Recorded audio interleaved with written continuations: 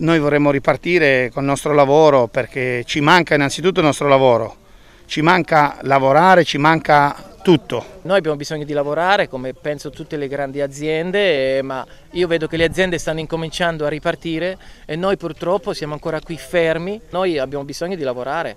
Chiedono risposte gli artisti del circo Madagascar, fermo dal 3 marzo ad Ancona, dove avrebbe dovuto ottenere spettacoli dal 6 al 15 marzo. La città dorica faceva parte di una tournée lungo tutta la costa adriatica, cancellata dall'esplodere dell'emergenza coronavirus.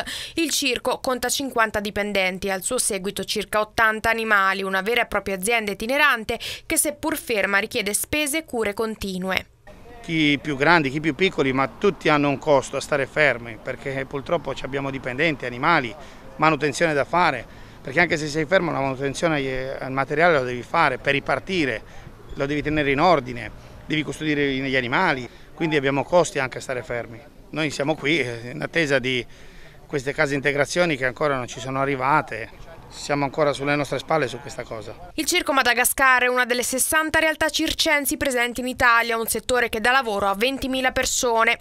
Il Comune Dorico e la Protezione Civile regionale si sono attivati da subito per sostenere i circensi nella loro permanenza forzata nel territorio dorico. Ma all'appello del circo hanno risposto anche i produttori coldiretti delle province di Ascoli, Piceno e Fermo, insieme a due aziende della provincia di Ancona che hanno donato carne e foraggio per gli animali. In un periodo come questo di emergenza bisogna dare una mano a chi ha più bisogno. La Federazione Interprovinciale di Coldiretti Ascoli Piceno Fermo ha voluto donare al circo 250 eh, quintali di fieno provenienti dalle aziende del nostro territorio. Ci rendiamo conto che chi vive con il pubblico e il pubblico in questo periodo ancora non, non può muoversi sta vivendo una situazione drammatica. Abbiamo della carne, aveva, che abbiamo portato soprattutto per, per, questi grandi felini che penso, vedendo già prima quando gli è stata appena data, hanno molto apprezzato. Noi siamo stati molto aiutati qui ad Ancona,